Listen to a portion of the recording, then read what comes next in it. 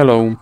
In this video I will show you how to recover deleted photos from trash on Redmi Pad Pro. So you have to start by opening your uh, Photos application, then move to uh, bin and now you can select photos that you want to restore and then click restore button.